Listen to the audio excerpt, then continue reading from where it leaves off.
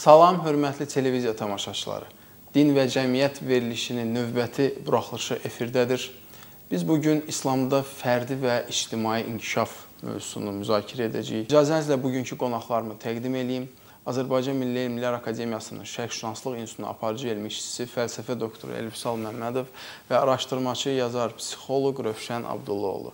Rövşən müəllim, Elifsal müəllim, xoş gəlmisiniz. Çox sağ olun. Bugünkü mövzumuz kifayət qədər aktual mövzudur və eyni zamanda müəyyən mənada müasir mövzudur. Yəni e, belə deyim, keçmiş e, dövrlərdə o qədər də geniş toxunulmayıb, amma yəqin ki Elvsal müəllim bizə o keçmiş gələcəklə və keçmişlə bağlı elmi fəaliyyət haqqında məlumat verəcək. Amma müəllim ilk öncə istəyirəm bir məsələyə e, toxunaq. Ümumiyyətlə dini fəlsəfi düşüncədə inkişaf dedikdə nə nəzərdə tutulur? Yəni bir anlayışın, bir varlığın fəlsəfi fikir aspektində desək, inkişafı nə deməkdir?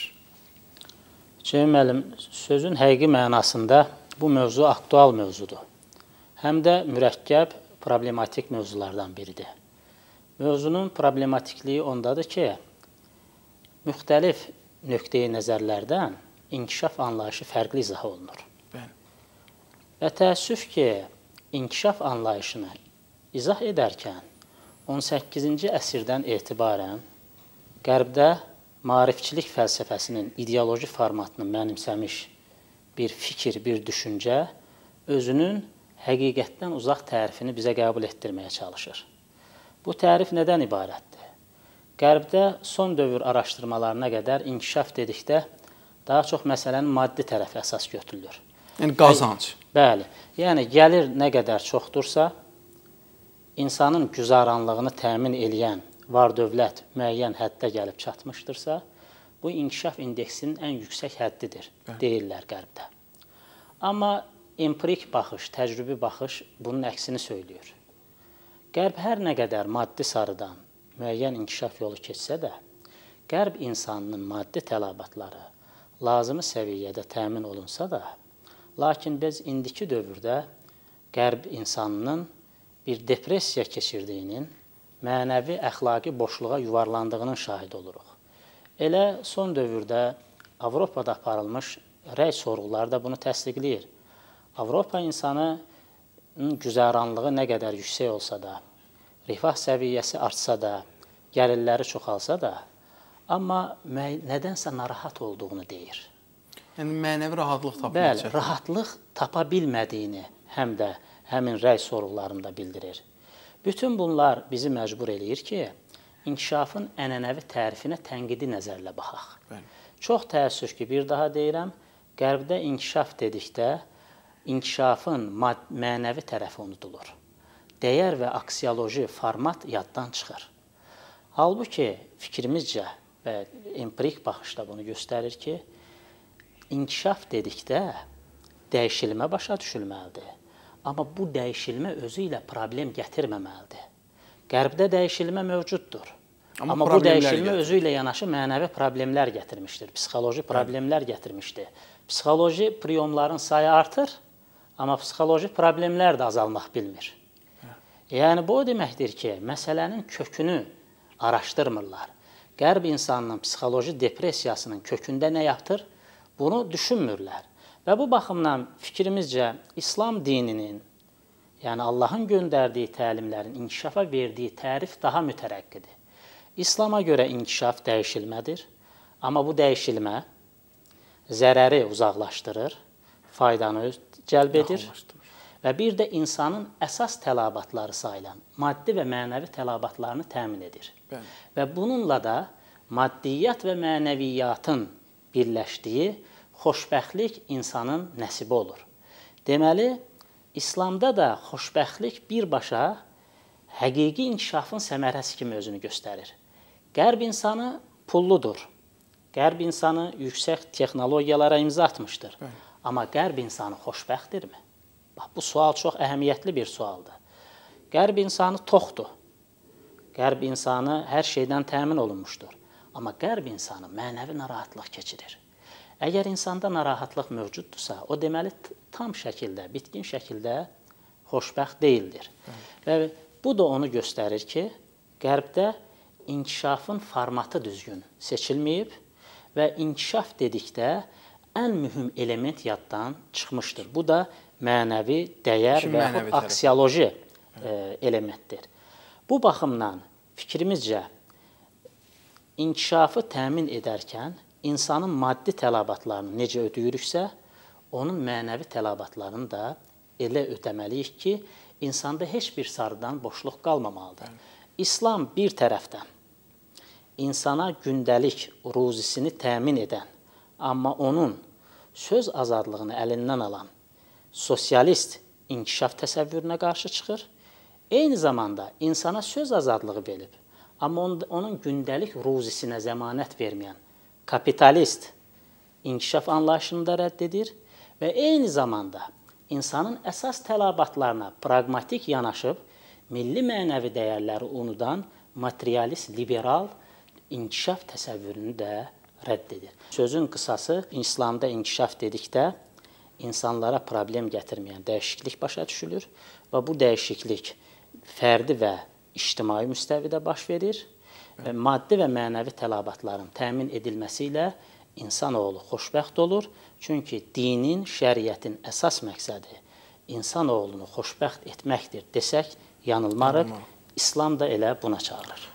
Təşəkkür edirəm Elifson müəllim. Rövşən müəllim, mən sizin əsərlərinizlə də yaxından tanış olan bir insan kimi deyə bilərəm ki, siz də öz yəni inkişafla bağlı olan fəaliyyətlərinizdə daima mənəvi və maddi inkişafı sintez şəklində qəbul edən insanlardansınız. Yəni belə deyim də Elvisal müəllim dediyi kimi praqmatik materialist yox, biraz da mənəvi tərəfə əhəmiyyət verən e, düşüncəyə sahibsiniz. Necə düşünürsünüz? Ümumiyyətlə insan həyatında inkişafın əhəmiyyəti nədən ibarətdir?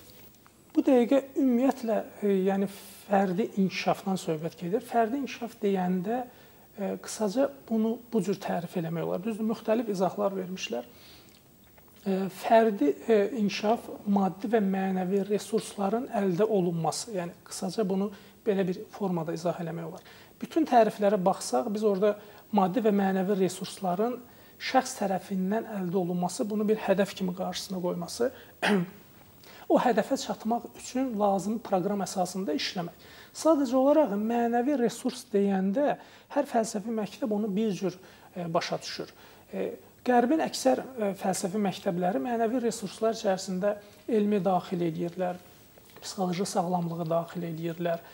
Bu kimi mövzuları mənəvi resurslar kimi başa düşürlər. Ancaq Şərqin, məxsusən də İslam fəlsəfəsinin yanaşmasında mənəvi resurslar daha geniş bir anlamdadır. Məsələn, Qərbdə olmayan bir yanaşma var.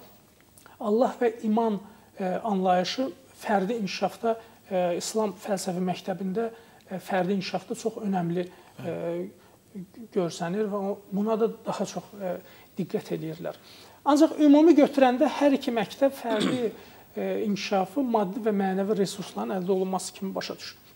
Mən burada bir müqayisə aparmaq istəyirəm. Ümumiyyətlə istəyirəm belə bir sualı ortaya qoyum ki, İslamın ümumiyyətlə fərdi inkişafa əhəmiyyət verirmi? Yəni bu mövzuya bir yanaşaq. Çünki mümkündür ki, tamaşaçıda belə bir sual yaransın ki, e, çünki fərdi inkişaf mövzusu 20-ci e, əsrin ikinci yarısında gündəmə gəlmiş bir mövzudur və bu mövzularda yazılmış məqalə və kitablar da əsasən 20-ci əsrin ikinci e, yarım hissəsinə düşür. O vaxta qədər fərdi inkişaf mövzusu gündəmdə deyildi. Məxsusən psixologiyanın özü yeni cavan bir elmdir. 19-cu əsrin ikinci yarısında yaranıb Bəli. və fəlsəfədən ayrılıb. O vaxta qədər psixologiya fəlsəfənin daxilində fəaliyyət göstərirdi. Ondan sonra mövzular genişləndi və ayrıldı. Ona görə fərdi inkişaf deyəndə adətən belə başa düşürlər ki, İslamın bu sahədə deyəcək bir fikri yoxdur. Çünki İslam 14 əsr bundan əvvəlki dönəmlərə aid olub. O dövrdə ümumiyyətlə fərdi inkişafdan danışılmağın yeri yoxdur.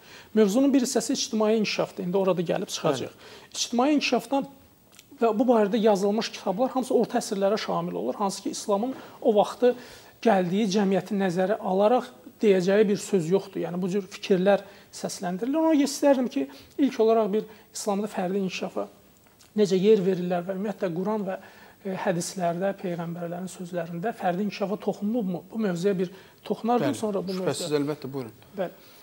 Fərdi inkişafda qeyd elədiyimiz kimi maddi və mənəvi resursların əldə olunması bu bir. Bir də ki, maddi və mənəvi resursları əldə olunmağın qarşısını alan maneələrin fərdin özündən uzaqlaşdırması.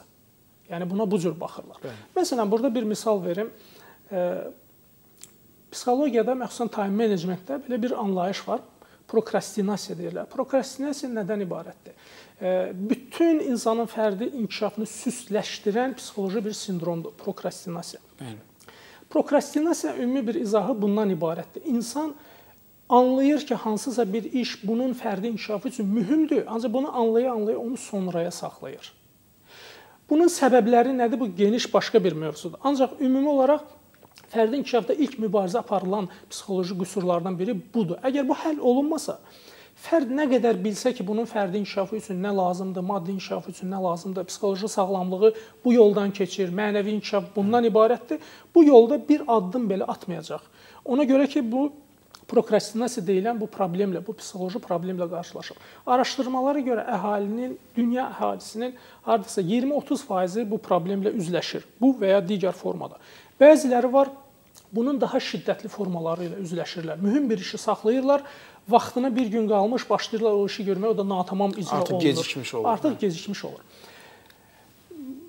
Prokrastinasiya haqqında mən bir araşdırma apardım bir müddət görüm ilk kitabı kim yazıb? Hardasa bu 40-50 il ərzində bu barədə e, bir təlimlər formalaşıb, bunun həll yolları barəsində danışır və ilk kitablar da şamil olunur 40-50 il əvvələ. Ondan qabaqlarda prokrastinasiya ümumiyyətlə bir anlayış olaraq gündəmdə deyildi. İnsanlar bununla məişətlərində, gündəlik həyatında qarşılaşmalarına baxmayaraq buna diqqət eləmirdilər. Ümumiyyətlə bunu bir psixoloji qüsur, sindrom kimi ümumiyyətlə ortalığa qoyub bir üzərində bir bəhslər edilmirdi. Bizlər ancaq hədislərə diqqət eləyəndə baxıb görürük ki, təsvif deyilən e, hədislərdə bir anlayış var. Təsvif nədir? E, təsvif insanın mühüm bildiyi, onun üçün faydalı olan işləri sabaha saxlaması, sonraya saxlaması. Yəni eyni latın mənşəli söz olan prokrastinasiyanın ərəb formada ifadəsidir, təsvif. Hədislərdə təsvif haqqında geniş izahlar var. Hətta təsvifin, yəni prokrastinasiyanın yaranma formaları, bununla mübarizə alma, aparma. Prokrastinasiya nədən qaynaqlanır? Bunun səbəbləri nədir? Hədislərdə geniş bu barədə danışılır. Bəli. Məsələn, mən bir neçə hədisləri diqqət eləmək diqqətə çəkmək istəyirəm. Məsələn, bir hədisdə ə, peyğəmbərimiz Əbuzər Ğifariyə buyurur ki, deyir: "Ey Əbuzər, sən təsvifdən uzaq ol. Yəni prokrastinasiyadan uzaq ol. Çünki yəni bu günün işini sabaha qoyma. Bu günün işini sabaha qoyma. Yəni bu gün bu mühüm işi görmək lazımdırsa indi gör. Sonra görərəm, sabah görərəm, cümə günü müqəddəs gündür, cümə günü gəlsin, onda görərəm. Ad günüm falan ayın falan tarixindədir, ondan sonra başlayaram. Yəni bu cür bəhanələrlə mühüm işi sonraya saxlama. Deyir, Çünki həlak olanlar hamı bu xüsusiyyətə görə həlak, həlak olub. Yəni indiyənə kimi nə qədər insan fərdi inkişafdan qalıbsa, onu məhv edən xüsusiyyət bu təsvifdir. Deyir, əgər sən bugünün işini sabaha qoymasan, sabah gələndə bu gün o işi etdiyinə görə peşman olmayacaqsan. Yəni bu gün işi vaxtında elədiyinə görə sabah açılanda düşünəcəksən ki, nə yaxşı mən bunu dünənləri vaxtında gördüm. Etmişəm, vaxtında bu işi etmişəm. Bəzi hədislərdə e, Həzrət Əli e, bir müəyyən hansısa bir sərvət gəlir Həzrət Əlinin e, əlinə, deyir ki, bunu gecə ilə paylamaq lazımdır. Səhabelərdən biri qayıdır, deyir ki, bunu olmaz sonraya saxlayaq. Məsələn, sabahlar və yaxud başqa bir vaxt eləyək. E, Həzrət Əli qayıdır, deyir ki, e, təsvifdən sən dediyin təsvifdir. Bundan uzaq olmaq lazımdır və mütləq olaraq mühüm işləri anındaca icra etmək lazımdır və gecə ilə də bunu paylayır. Bəzi hədislərdə qeyd olunur ki, təsvif dibi görsənməyən bir dənizdir. Bəli. İndiyənə qədər bütün insanlar uğurdan bu dənizə daldıqlarına görə qalıblar. İnsanları məhv yəni, bu təbirlər var. Hətta bir hədisdə e, prokrastinasiyanın həll yoluna işarə olunur. Orada qeyd olunur ki, Həzrət Əli buyurur ki, e, prokrastinasiya, yəni təsvif o zaman baş verir ki, insan bu iş üçün e, hədli bir vaxt görmür. Yəni fikirləşir ki, Bunu mən uzun bir müddət ərzində görə bilərəm deyir. Bax, təsvif ondan qaynaqlanır. Prokrastinasiyanın müalicə formalarında da bunu qeyd edirlər ki, insan əgər bilsə ki, bu iş sabahları əldən çıxacaq və bu işi zay eləyəcək və yaxud da onun üçün bir konkret bir vaxt təyin eləsə, o zaman prokrastinasiya ilə mübarizə apara bilər. Onlardan e, yolları da biri budur. Yəni baxıb görürük ki, fərdi inkişafla bağlı mövzular Yəni İslam Günümüzün, bu aspektdən məsələyə toxunur. Bəli, bu bu aspektdən Carl Gustav Jung'un belə bir e, sözü var. Ümumiyyətlə psixologiya və din bir-birinə nə kimi fayda verə bilər? Bu mövzuda bir araşdırmalar aparıb Erik Fromun da bir kitabı var, e, Psixoanaliz və din. Karl Gustav Jung da bu sahədə işləyib. Orada gözəl bir ifadə işlədir. Deyir ki, e, psixologiya qeyd elədiyim kimi təzə yanıl, yaranmış cavan bir elm sahəsidir. Orada qeyd edilir, ancaq dinlərin həyat təcrübəsi qat-qat çoxdur. Və dinlər ilk insan toplumu yaranandan fəaliyyətdədir. Hə. Və dini e, belə deyim ilahiyyatçılar, ruhanilər onlar artıq həyat qədər təcrübə toplayıblar. Yəni dinin mövzuları daha genişdir. Fəlsəfədə belə bir yanaşma var.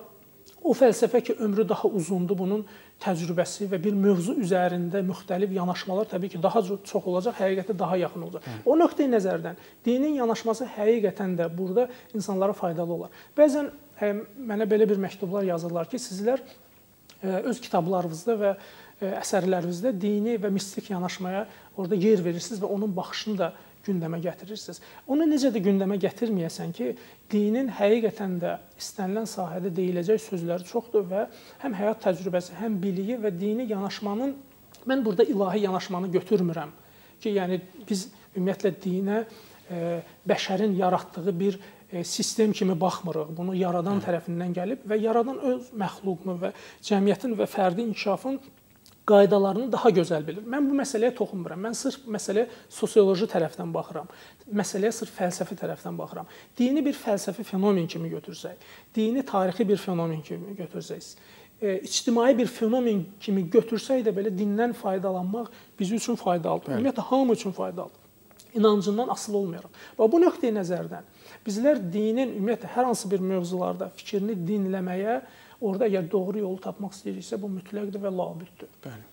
E, çox təşəkkür edirəm Rövşən müəllim. Deməli, e, bayaq Elvsal müəllim qeyd etdiniz. Mən istəyirəm bax Rövşən müəllim də qeyd elədi ki, dində, yəni bir növ tamaşaçılarımız üçün də yeni bir açılış oldu ki, əslində fərdi inkişafa dair bir aspekt var. Yəni bugünün işini sabaha qoymamaq inkişafa ən böyük çağırışlardan biridir ki, yeni-yeni əməllərlə bir növ inkişaf e, pillələri formalaşır tarixi məqam, bax bayaq kiçik də olsa toxundunuz.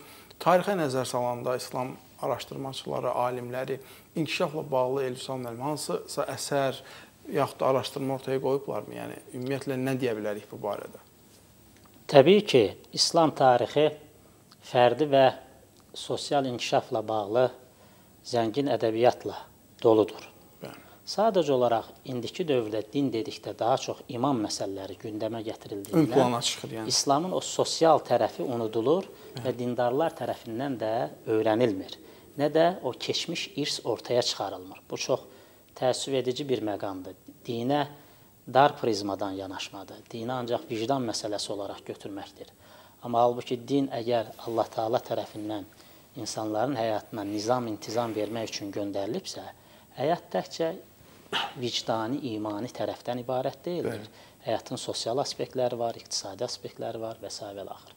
Bu nöqteyi nəzərdən Quran mətninə, hədislərin mətninə və İslam ilahiyyatçılarının əsərlərinə nəzər saldıqda, sosioloqların əsərlərinə nəzər saldıqda, müasir terminlə desək, inkişafı özündə birləşdirən, inkişafı ifadə edən müəyyən ifadələrə, terminlərə rast gəlirik. Məsələn, Qurani-Kərimdəki xoş həyat xoş həyat ifadəsi. Allah nə deyir? İstər qadın olsun, istər kişi olsun, kim yaxşı bir iş görərsə biz ona xoş həyat bəxş edərik. Biz ona xoş həyat, xoş həyat dünyadakı həyatdan söhbət gedir. Və yaxud biz e, peyğəmbərimizin hədislərində təmir, yəni abadlaşdırma, münbitləşdirmə ifadəsinə rast gəlirik. Düzəltmək. Qurani-Kərimdəki o geniş mənalı islah anlayışı. İslah nədir? Yaxşıya doğru dəyişdirməkdir. İslamda İslama görə dəyişmənin iki forması var. Mənfiyə doğru dəyişmə, bu fəsad adlanır Quran terminologiyasında. Yaxşıya, müsbətə doğru dəyişmə bu islah adlanır. Və Quran da möminlərin keyfiyyətlərindən biri olaraq hər dəfə islah edənlər sözünü işlədir. Deməli mömin təkcə namaz qılan, oruç tutan, sədaqə verən, həm də özünü, ətrafındakıları, cəmiyyəti Yaşadığı islah cəmiyyəti. edən, yaxşılaşdıran, Bəli. daha yaxşı müstəviyə çıxaran şəxs deməkdir. Bəli. Və bununla yanaşı ümran, ümran İslamın inkişaf nəzəriyyəsidir. Bəli. Daha çox İbn Xəldunun müqəddimə əsərində inkişaf elətdirilmişdir. Ümran İbn Xəlduna görə Allahın insan oğluna bəxş etdiyi bütün resurslardan optimal şəkildə istifadə etməklə Bəli. xoş və yaxşı şeylərin davamlı çoxalmasına nail olmaq üçün hər kəs üçün şəraitin yaradılmasıdır. Deməli, xoş şeylərin, yaxşı şeylərin davamlı çoxalması. Bəli. İslamda ət-tayyibət, yəni xoş şey, yaxşı şey deyəndə təkcə maddi məsələlər nəzərdə tutulmur. Burada həm də mənə, həyatın mənəvi tərəfi də Tərəfləri də. nəzərə alınır. Bununla yanaşı biz Maværdinin əsərlərinə nəzər saldıqda görürük ki, o fərdi və ictimai inkişaf haqqında çox maraqlı sözlər, fikirlər səsləndirmişdir. Məsələn, o deyirdi ki, hər hansı bir inkişaf üçün, hər hansı bir inkişaf üçün dindarlığın artması, amma dindarlığın artması ilə yanaşı ictimai inkişaf təzahürünə olan maraq artmalıdır. Bu çox əhəmiyyətli bir şey. Yəni din, insanın imanı nə qədər çox artırsa, ətrafı dəyişdirmə və ya ictimai ictimai inkişafa töhfə vermək marağı da bir o qədər artmalıdır. Çoxalmalıdır bəli. E, Mavərdi deyirdi ki, ədalət və əminamanlıq olarsa inkişaf olar. Ədalət və əminamanlıq yoxdursa viranəlik, fəsad vardır. Dövlətin də vəzifəsi həmin ədaləti və əminamanlığı təmin etməkdir. Bu vaxt ölkədə inkişaf baş verəcəkdir. Bu təxminən 13-cü əsrdə yaşamış bir müsəlman mütəfəkkirinin sosiologiya və siyasətə dair samballı əsərlərin müəllifi sayılan Maværdinin fikridir. Sonrakı dövr müsəlman üsulşünaslarının əsərlərinə nəzər saldıqda görürük ki, Şatibi inkişafın zəmini olaraq iki əsas prinsipi təqdim eləyir. Şatibi məşhur İslam üsulşünasıdır. O deyir ki, inkişafın baş verməsi üçün fərdə və cəmiyyətə gələ biləcək zərəri uzaqlaşdırmaq, faydanı cəlb etmək lazımdır. Və bu vaxt insan oğlunun qarşısında duyan 5 məqsəd həyata keçməlidir. Bunlardan birincisi dinin qorunmasıdır. İkincisi canın canın qorunmasıdır. Üçüncüsü nəslin qorunmasıdır.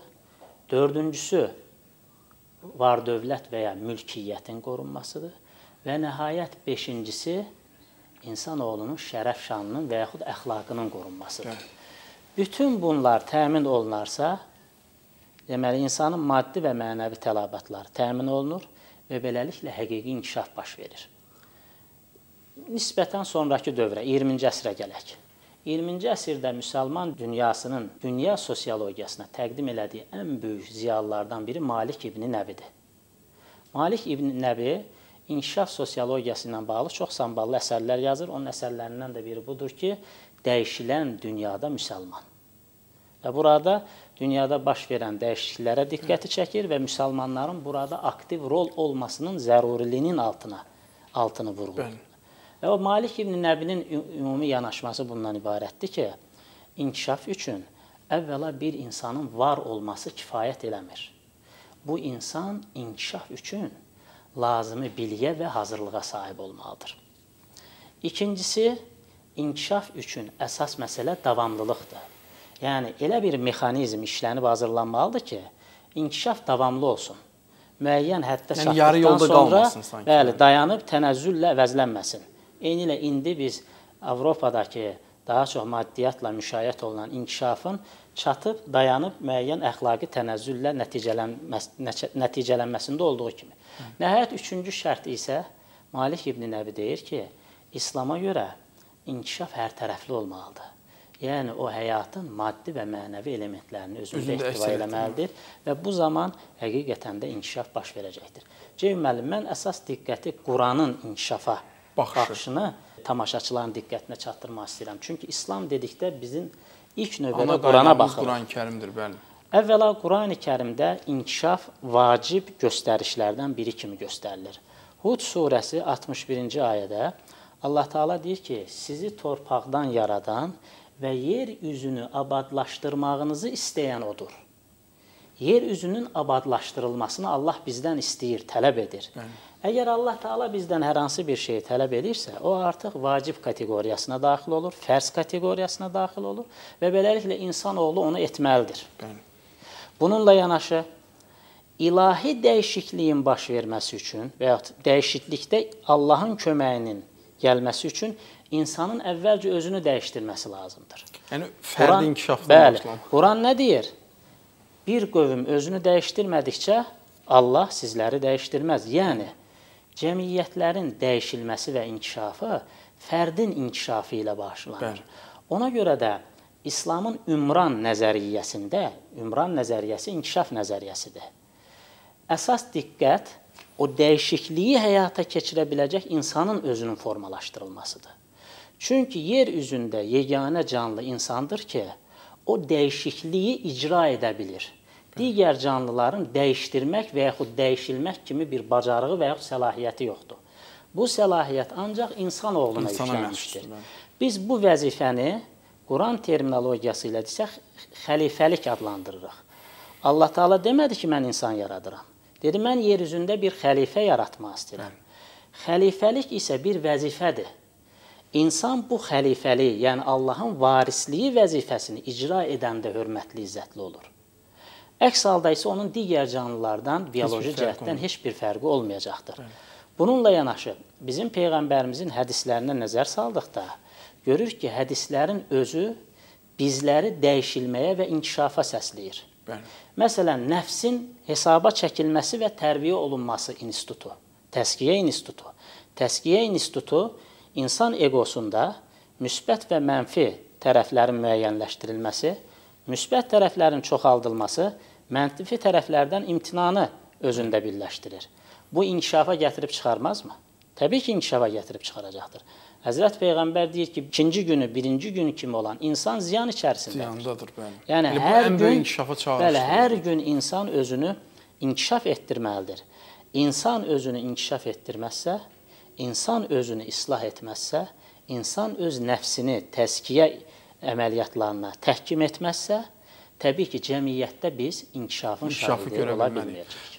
Çox təşəkkür edirəm. Rövşən müəllim, baxın Elfisal müəllim çox kifayət qədər təfsilatlı və maraqlı bir izahat verdi. Biz özümüz də mənə elə gəlir ki, hələ uzun müddət faydalanacağıq yaxşı mənada. Amma bir məqamda dedi, fərdin inkişafı olmadan cəmiyyətin inkişafı olmaz və fərdlərin inkişafına Qurani-Kərim başda olmaqla İslam dini fərdin inkişafını rəhbər tutan bir dindir. Amma bu inkişafın istiqamətləri olmalıdır. Yəni bir insan bir müsəlman olaraq e, öz həyatını tənzimləyərkən mən hansı istiqamətlər üzrə inkişaf etməliyəm və mənim qarşımda hansı maneələr və hansı imkanlar və fürsətlər var. Bu da istər-istəməz psixoloji sarsıntılara gətirib çıxarır. Çünki bəzən süni maneələrlə də qarşılaşdığımız dövrlər olur. E, Qeyri ədalətli mübarizələr olur. Qarşımızdakı rəqib sanki bir idman yarışı kimi olsa, əlavə bir güc varsa, onda artıq bu ədalətsizlik də olur. Bir çox səbəblər olur. Ona görə mənə elə gəlir ki, bizim tamaşaçılara da maraqlı olar sizin dilinizdən eşitmək. Fərdi inkişafda biz hansı istiqamətləri prioritet istiqamət olaraq götürməliyik?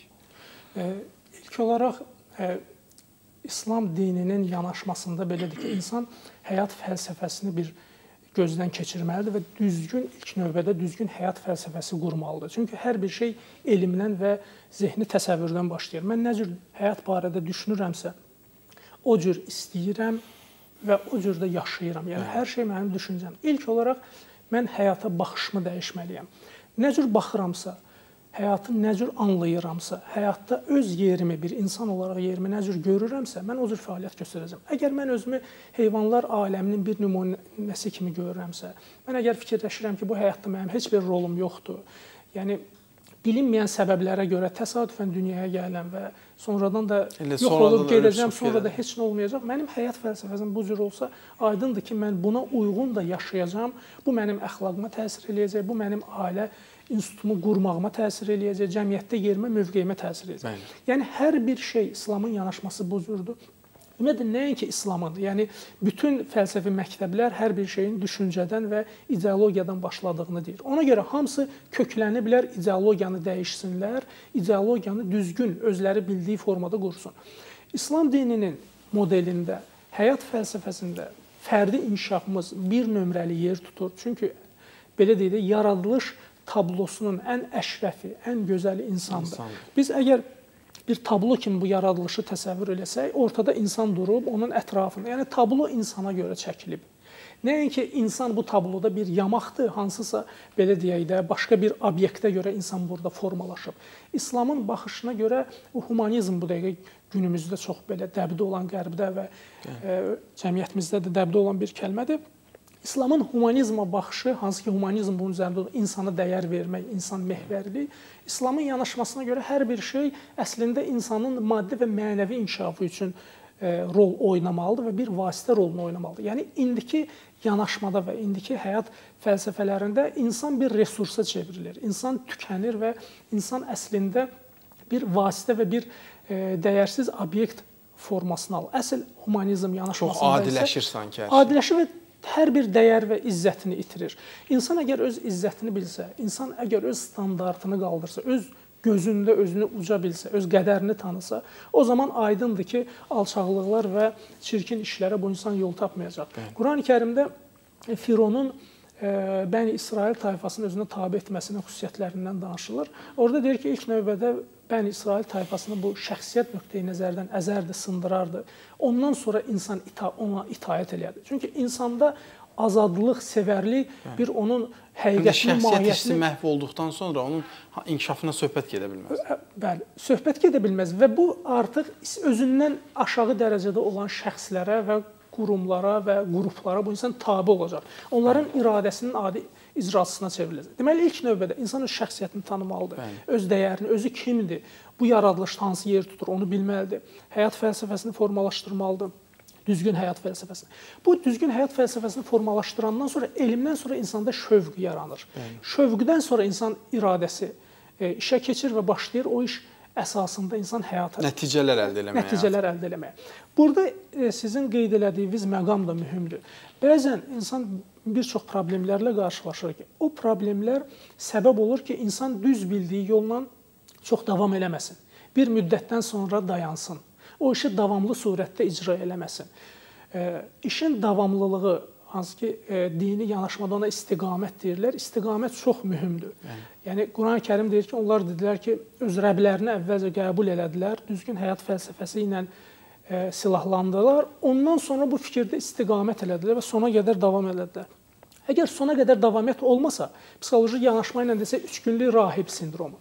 Üç günlük rahib sindromu, yəni e, biz ona üç günlük mömin sindromu da bəzən deyirik. Yəni insan həvəsə düşür, müəyyən işləri bir müddət icra İlk edir. həmişə bəzən sözünüzə qüvvət, e, bəzən hansısa bir işə başlayanda Elbisal müəllim də təsdiqləyər, yaxud da yeni ibadətə başlayan insanlarda da bu müşahidə olunur. Yaxud da bir ilk həftə, ilk 10 gün böyük bir şövq olur, amma sonra böyük bir e, Birdən-birə tənbəllik və süslür yaranır. Bax o onun elə yeri gəlmişkən Rövşən müəllim özünüz toxundunuz. Onun səbəbi də çox mənə maraqlıdır bir insan O, kimi. o insanın şövqü və belə deyək də motivasiyası Zəifliyir. zəifləyir. Bunun səbəbi nədir? Ancaq elmi cəhətdən bu insan o yolu yenə də düz bilir. Bu insan yenə də bilir ki, sağlamlıq üçün o yola. idman eləmək lazımdır, Amma filan şeylər zərərdir. şövq zəifləyir. Şövq zəifləyir. Ona görə o şövqü gücləndirmək üçün həmişə o motivasiya qaynağından istifadə eləməlidir. Yəni dində nəyə görə Qurani-Kərim ayələrini mütəmadi oxumaq tövsiyə Yəni ən azından hədə o yeni məsələn dindardırsa iman hissini gücləndirməlidir. Bəli. O hisslər təravətli qalanda o e, bir həftədən sonra ibadətlərində süstlük göstərən insan əsas məsələnin kökünə qayıtsın ki, bu nədən başladı? Hansı bir xütbəni görə bu eşidir? bəli, niyə görə bu ibadətə başladı? Ondan sonra bir həftə ərzində o həvəs əsasında əməl edir. Ancaq Bəli. sonradan həvəsi saxlamaq üçün, o şövqü saxlamaq üçün özündə hansısa bir hərəkətlər eləmir. Təbii ki, bir həftədən sonra bu insanın şövqü belə deyək də bu yanacağı bitəcək, yanacaq bitən. Yəni daim özünü şövqlü saxlamalıdır. Burada kitabın mən rolunu da e, Xüsusən, qeyd etmək istəyirəm. mütaliə. Ümumiyyətlə mütaliə bu mövzularda çox e, böyük bir rola malikdir. Məncə flaqmandır, aparıcı rola malikdir. Mütaliəsiz heç bir şey mümkün deyil. Bizim demək olar ki, biliklərimizin 90%-i kitablardandır. Yəni 10%-i müəllimlərdən yararlanırıq. Müəllim də yenə də kitabdan istifadə eləyir və dərsi də bizə verəndə yenə də kitaba istiqamətləndirir. Hətta müəllimlər daha çox bunun üzərində toxunurlar ki, dərs məsələn 40 dəqiqə 1 saatdır, ancaq əlavə mütaliəyə güc verir. Yəni əlavə mütaliə əsas hər şey onun üzərində qurulur. Bizlər hədislərə diqqət edəndə, Qurani-Kərim ayələrinə diqqət edəndə kitab kəlməsi, ümumiyyətlə kitab oxumaq, yazmaq həddindən artıq çox tövsiyə olunub. Qurani-Kərimdə 255 dəfə müxtəlif formada kitab kəlməsi gəlib. Ondan 2 dəfə çox elm kəlməsi istifadə olunub. Bir neçə dəfə qələm kəlməsi istifadə olunub Qurani-Kərimdə. Yazmaq e, feili istifadə olunub Qurani-Kərimdə. Yəni baxıb görürük ki, Qurani-Kərimin e, ilk ayəsi oxu əmri ilə başlayır. Deməli, dinimizin əgər inkişafın təməli kitabdırsa, Bəli. İslam da oxu əmri ilə başlayıbsa, deməli inkişafa ən önəmli Bəli. yer verən Bəli. dindir. Əslində bu öz-özünü isbat edən bir özü dəyər. elə inkişafın, fərdi inkişafı, hər şey Fərdi ondan inkişafın göstəricisidir. Qələmə and içir və qələmin yazdıqlarına and içir. Qurani-Kərim adlarından biri də kitabdır. Yəni bu hamısı o kitabın və yazmanın nə Əhəmiyyəti. qədər əhəmiyyətini göstərir. Qurani-Kərimdə əgər yaradan hansısa bir şeyə and içirsə, onun əzəmətini qeyd edir. Qələm və qələmin yazdıqlarına and içmək ümumiyyətlə yazının o formasından asılı olmayaraq faydalı yazının Bəli. ə, nə qədər əhəmiyyətini burada qeyd edir və bütün İslam dini ə, bir möcüzə olaraq yenə də kitabdır. Bu dəqiqə ə, hər hansı bir müsəlmandan soruşulsa ki, sizin dininizin ə, peyğəmbərinizin gətirdiyi möcüzə nədir? Nə deyərik? Kitabı təqdim eləyərik. Qurani-Kərim ən böyük möcüzədir. Ən böyük möcüzədir və e, İslam peyğəmbərinin möcüzəsi də kitabdır. Yəni digər Bəli. peyğəmbərlərdən fərqli olaraq e, bizim dinimizin möcüzəsi kitabdır. Bəli. Kitab möcüzə. Bundan mən fikirləşirəm ki, yəni fərdi inkişafa, bütün biliklərin mənbəyi olan kitaba yazmağa bundan böyük dəyər vermək olmaz. Hədislərdə qeyd olunur, o bilik ki, yazılmayıb, o tez bir zamanda zay olub Bəli. gedəcək. Hər bir şeyi biliyinizi yazaraq qoruyun və saxlayın, gücləndirin. Bir hədisdə isə qeyd olunur ki, Həzrət Əlidən nəql olunan hədisdə deyir, bir zaman gələcək ki, e, fəsad hər bir yeri bürüyəcək və onda insanlar qəlbinə təskinlik vermək üçün kitab mütaliə eləsinlər. Yəni qəlbi təskinlik olaraq kitabdan faydalansınlar. Başqa bir hədisdə qeyd olunur ki, əgər bir insan qəlbi təskinliyi kitabdan alarsa, bu təskinlik, bu aramlıq heç bir şeylə əvəz olunmaz. Başqa bir hədisdə qeyd olunur ki, peyğəmbərimizdən, İslam peyğəmbərindən nəql olunur ki, kitab oxuyun. Çünki kitab Bəli. sizdən əvvəldəkilərin biliyini və e, məlumatlarını sizə çatdırır və eyni zamanda sizin məlumatlarınızı da gələcəyə çatdırır. Gələcəyə yəni bir növ bütün yəni bir-biri ilə bağlıdır. bağlıdır. Və mən e, deməli vaxtımız az olduğu üçün Elçin müəllim bir sualla sizə ünvanlamaq istəyirəm və mənə elə gəlir ki, bu sual özlüyündə bir çox e, məqamlara aydınlıq gətirər və siz də ona şərh verərsiniz. Bax, e, Rövşən müəllim fərdin inkişafını çox yaxşı bizə e, izah etdi. Bax, mən belə düşünək. Bir cəmiyyətin inkişafı, fərdlərin inkişafı olmadan bir cəmiyyətin inkişafını təsəvvür eləmək mümkündür ümumiyyətlə? Təbii ki, mümkün, mümkün deyildir. Çünki cəmiyyət fərdlərin mexaniki birləşməsi deyil. Bəli. İbtidai icma quruluşu ilə müasir sosial cəmiyyətlərin fərqi nədir? İbtidai icma quruluşunda insanlar daha çox bir-birinə praqmatik mənada ə, asılı idilər bir-birindən. Yəni bir-birlərinə ehtiyacları vardı. Amma müasir sosial cəmiyyətlərdə mənəvi bağlılıq, aksioloji, yəni dəyərlərə əsaslanan bağlılıq ə, əsas götürülməlidir. Əks halda isə bunun ibtidai cəmiyyətdən fərqi olmayacaqdır.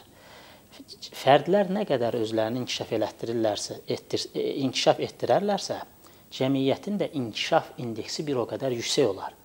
Əks halda isə həmin e, toplum e, e, fərdlərin mexaniki birliyindən başqa bir şey olmayacaqdır. Və ümumiyyətlə mədəni səviyyə nə qədər yüksəkdirsə, biz mədəniyyət deyiləndə təkcə e, rəsmi e, davranışları nəzərdə tutmuruq. Həm də bu fərdi vicdani əxlaqdan tutmuş sosial əxlaqa qədər uzanan geniş məsələdir. İnsanın mədəni səviyyəsi nə qədər yüksəkdirsə, maddi rifah belə cəmiyyətləri heç vaxt yıxmır. Ona görə hər nə qədər köhnəlmiş söz olsa da Karl Marksın çox maraqlı bir sözü var. Deyir ki, ancaq mədəni səviyyəsi yüksək olan insanlar hər şeyə sahib olmalıdırlar. Mədəni səviyyəsi aşağı olan insanlar hər şeyə sahib olarlarsa, onlarda təkəbbürlülük, egoizm və başqa problemlər ortaya çıxacaq. Bu nöqteyi nəzərdən fərdi insanın fərdi inkişafı çox əhəmiyyət kəsb eləyir. Biz Qurani-Kərimə nəzər salanda görürük ki, Qurani-Kərim fərdin timsalında cəmiyyətin necə inkişaf edə biləcəyinin modelini bizə təqdim eləyir. Yəni yol göstərir. Bəli, yol göstərir. Bunu biz İbrahim peyğəmbərin duasında görürük. İbrahim peyğəmbər özündən sonra gələcək Əhməd adlı peyğəmbərin ümmətinə görün nə arzuluyur. Sonradan Allah Taala Quranın başqa yerində İbrahim peyğəmbərin, Məhəmməd peyğəmbərin ümmətinə arzuladığı o keyfiyyətləri bir daha sadalayacaqdı. İbrahim peyğəmbər Məhəmməd peyğəmbərin ümmətinə 4 şey arzuluyur. Kitab, elm, öz nəfslərini daim tərbiyə etmək və dördüncüsü hikmət, yəni müdriklik. Ən böyük. Bu o deməkdir ki, istər fərdi müstəvidə, istər ictimai müstəvidə inkişaf baş verməsi üçün birincisi o cəmiyyətdə dini, əxlaqi dəyərlər olmalıdır. Mənəvi dəyərlər. Bəli, mənəvi dəyərlər. İkincisi, orada elm olmalıdır. Xüsusilə də ixtisasların fərdiləşməsi anlayışı. Bəli. Yəni hər kəs öz ixtisasını çox yaxşı bilməlidir. Bəli. İşin Üçün, əhlinə verilməsi bəli. məsələsi. Üçüncüsü daim insanın özünün nəfsini hesaba çəkməsi. Buna hətta biz fərdi inkişafın bir bir elementi də deyə bilərik. Nəhayət dördüncüsü dünya görüşünün genişləndirilməsi. O qədər bilikli insanlar vardır ki, bilikləri ancaq mexaniki yığımdan ibarətdir.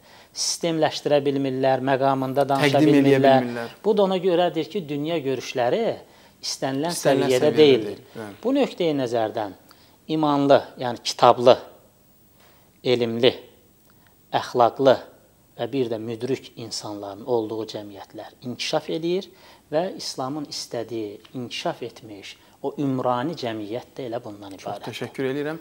Rövşən müəllim çox qısa olaraq istəyirəm bir şərh verəsiniz ki, siz ümumiyyətlə cəmiyyətin inkişafını və bunun e, potensialını necə görürsüz?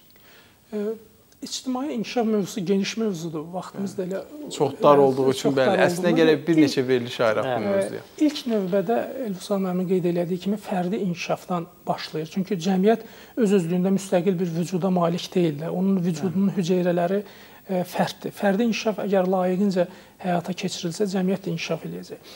İkinci növbədə e, cəmiyyətin problemləri mütləq olaraq önə çəkilməlidir və bu göstərilməlidir. Əgər insanların başının altına yastıq qoyulsa, hər şey yaxşıdır, heç bir problem yoxdur, heç bir qüsur yoxdur. Yəni bu cür yanaşma ilə cəmiyyət inkişaf eləmir. Çünki ilk növbədə o problem göstərilməlidir. Deyirlər, e, Napoleon Bonapart rus əskərlərindən birini tutur, ondan soruşur ki, siz nəyə görə e, vuruşursunuz? O deyir, şərəfə görə. E, Napoleon isə deyir ki, biz isə torpaqlarımızı genişləndirmək üçün vuruşuruq. Sonra da qeyd edir ki, insan o şey üçün vuruşur ki, o şey onda yoxdur. Yəni bir şeyi ki, insan biləndə məndə azdır və yaxud qüsurlam, o qüsuru çalışır ki, aradan götürsün. Çünki insanın içində fitrətən belə bir xüsusiyyət var ki, qüsurları, naqislikləri aradan aparsın və ona doğru məqsədyönlü, istiqamətli bir fəaliyyət göstərir. Problemlər göstərilməlidir cəmiyyətdə. İctimaiyyətdə e, mütləq olaraq maddi rifah, yəni yəni yaxşı olmalıdır. Çünki maddi rifah olmayanda cəmiyyətdə e, mənəvi inkişafdan danışılmaq və yaxud da başqa inkişafın qaydalarından danışılmaq hardasa biraz e, belə deyim də elə mühüm olmur. İslam fiqhində ən geniş bölmələrdən, fəsillərdən biri də iqtisadiyyat bölməsidir. İqtisadiyyatın inkişafı, hansı iqtisadi müamilələr düzgündür, düzgün iqtisadiyyatı necə qurmalısan, iqtisadiyyata ribanın e, xalq arasında faiz deyilir, qadağan olunması İslam tərəfindən səbəblərindən ən böyüyü e, cəmiyyətin iqtisadi rifahını və iqtisadiyyatı dağıtmağına görədir. İhtikar deyilən ikinci bir anlayış var İslam iqtisadiyyatında. Bu bizim dillə desək monopoliya deməkdir. Məxsusən də xalqın inhisarçılıq, məxsusən də xalqın daha çox tələbat duyduqları məhsulların yığılması, sonra baha qiymətə satılması. İhtikar İslam şəriətində qadağan olunmuş məsələlərdən. Nəyə görə? Çünki cəmiyyətdə iqtisadi sistemi çökdürür. Bəli. Yəni maddi rifaha həm İslam diqqət eləyib, həm bütün e, cəmiyyətlər bu mövzunu Bəli. qabardırlar və bunu da əhəmiyyətli bilirlər. Təşəkkür edirəm. Həqiqətən də e, maraqlı idi. Mən düşünürəm ki, Elfisal müəllim, Rövşən müəllim siz də həm fikir olarsınız ki, biz ictimai inkişafla bağlı daha geniş bir mövzu seçib bunu davam elətdirməliyik. Çünki bir verilişdə bir verilişdə bunu həsr eləməliyik. Çünki e, inkişafın ictimai tərəfi mənə elə gəlir ki, daha çox şaxəli və daha əhəmiyyətlidir. Hər ikinizə təşəkkür edirəm. Siz Maraqlı bir mövzu oldu. Ümid edirəm ki, tamaşaçılarımız da bəhrələnirlər. Hörmətli tamaşaçılar, biz bu gün e, ictimai inkişaf, fərd inkişaf və İslamın buna baxışı haqqında danışdıq. Əslində e, İslam dininin bax bayaq qeyd etdiyimiz kimi iqra oxu kəlməsi ilə başlaması inkişafa verdiyi ən böyük dəyərin isbatıdır. Oxuduğumuz təqdirdə inkişaf eləyə bilərik. Öyrəndiyimiz, təhsil aldığımız, yetişdiyimiz qədər töhfə verə bilərik, güclü ola bilərik. Və e, insan fitrəti elə bir xüsusiyyətə sahibdir ki, insan oxuduqca, gücləndikcə həm maddi rifah, həm mənəvi rifah onu gəlib tapacaq. Bizim dinimiz sadəcə və sadəcə inkişafa, gələcəyə, uğura, birliyə, ülvi dəyərlərə çağıran bir dindir və biz həmin dinə sarılaraq öz dinimizin dəyərlərini qoruyaraq inkişafı yaxalaya bilərik. Sağ olun, gələn görüşlərdək.